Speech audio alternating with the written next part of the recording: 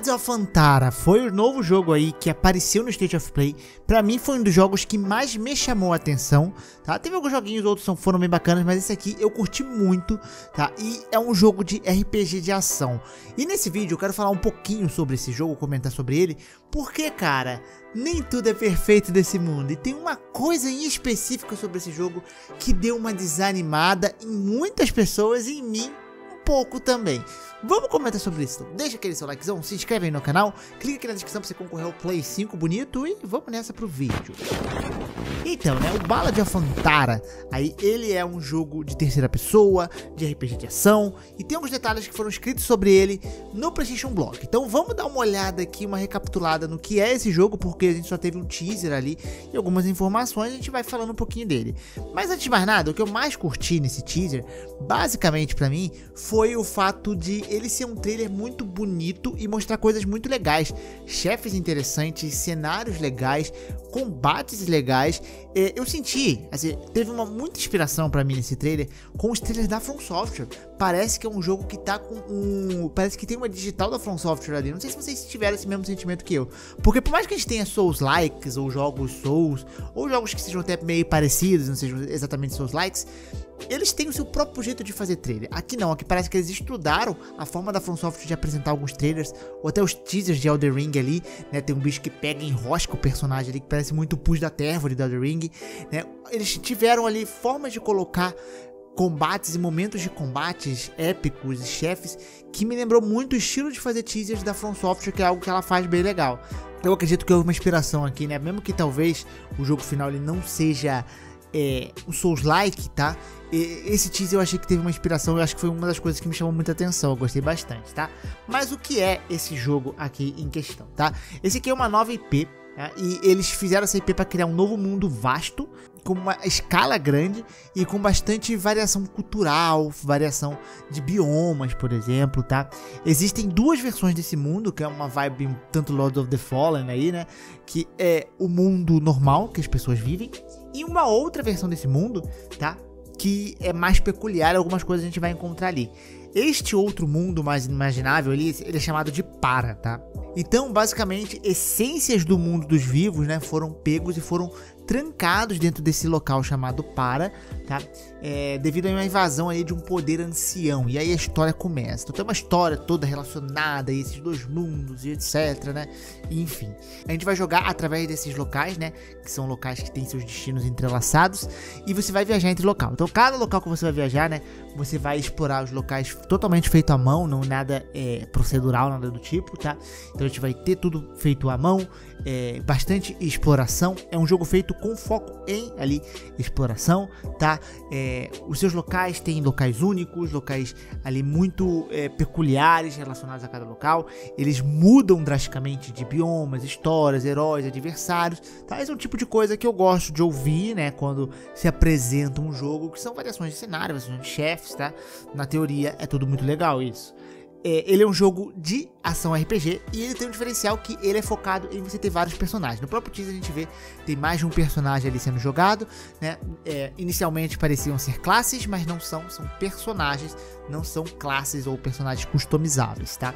Esses personagens eles têm poderes de atravessar entre esses dois mundos né? e eles são chamados de emissários. Então cada emissário tem a sua classe única, tem a sua forma de gameplay, capacidades, sua fo própria forma de contar histórias, etc. Então são personagens bem diferentes entre si.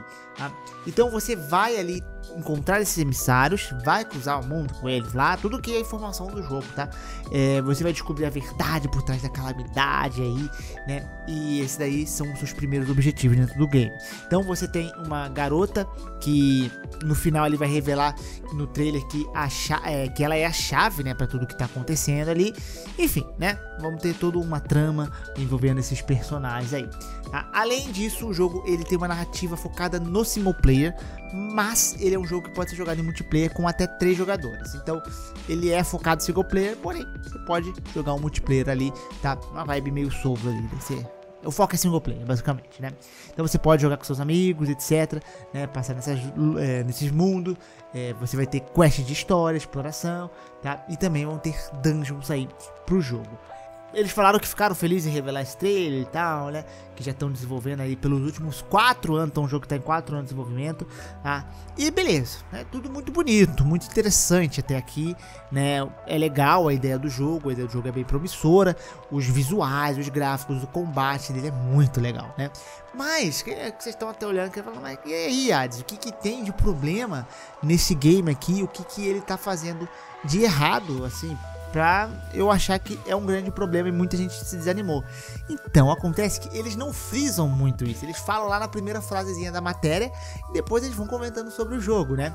E não revela muito, mas ele fala o que isso aqui é uma nova grande um novo grande RPG de ação, tá? uma nova IP criado com grande fidelidade e vai ser free to play, meus amigos.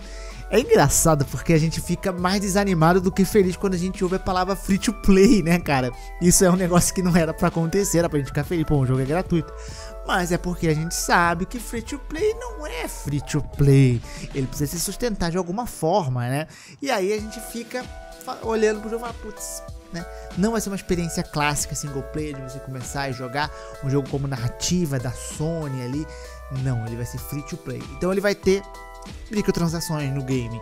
Né? Ah, não nada é revelado aqui, né? A gente não sabe se vão, que que são essas microtransações, o que serão, mas a gente vai ter, tá? O meu palpite sobre esse jogo é que ele vai aí seguindo uma linha mais Genshin Impact, tá? Porque a gente tem aqueles falando, né? São vários personagens com gameplays diferentes. Esses personagens têm uns nomes, são emissários. Então, pô, você tem vários emissários, eles vão lançar emissários com o tempo. Eu tenho uma vibe ainda mais que eu acho que é, né? É, o nome do desenvolvedor aqui é do líder, né, é Yang Yang. Então eu acho que é chinês o jogo, né?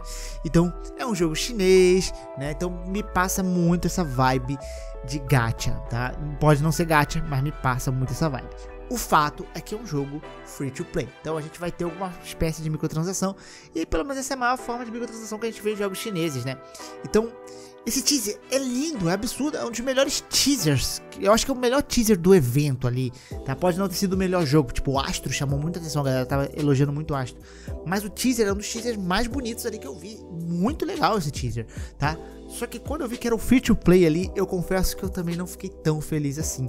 É, poderia ser muito melhor. Isso não quer dizer que o jogo vai ser um lixo por ser free to play. Pô, eu, por exemplo, entendo que o gacha do Genshin é um negócio problemático, mas eu adoro o Genshin Impact. Eu só parei de jogar Genshin Impact porque não deixa você pular diálogo. Isso me estressa. Porque é um tipo de jogo que eu não tô muito ligando pra história, né? E às vezes tem muita coisa encheção de linguiça lá. Mas, no geral, é um jogo que eu curto muito a forma de exploração do Genshin. Você tá sempre pegando baú e você sabe que tá sendo recompensado por isso, né? É enfim, eu só não gosto muito do GAT. O GAT ali também é um negócio que é complicado, a gente quer gastar um dinheiro, né? Só que no geral é legal. Então ele pode ser um jogo legal igual o Genshin, pode ser melhor que o Genshin pelo combate ali, ele parece muito melhor nesse quesito. Mas, né, infelizmente é aquilo, é um jogo free to play aí, né, pra gente. O que é engraçado, porque era pra gente ficar feliz, né? O jogo é de graça, com essa beleza toda, mas é óbvio que vai ter alguma coisa atrás, né, como qualquer jogo desse estilo. É, vamos ver, né, com futuras revelações, se isso vai animar ou desanimar mais a gente. Porque por, se, for um, se for um free to play com né, uma monetização mais leve, não for gacha, talvez for uma outra forma de monetização ali, talvez um passe de temporada, ou sei lá, né, também aquele single player, não sei se dá para encaixar isso, né, mas enfim, né, é, vamos ver como é que vai ser.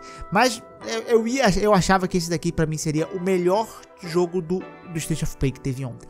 Mas depois dessa notícia, eu acho que o vencedor é o Astro, cara. O Astro eu achei bem legal, bem divertido. Talvez a gente faça um vídeo sobre ele aqui, né? O Astro eu achei um jogo bem bacana, parece estar muito criativo, né, o game aí, tá? Mas basicamente é isso daí, né, meu povo? Eu espero que vocês tenham gostado desse vídeo.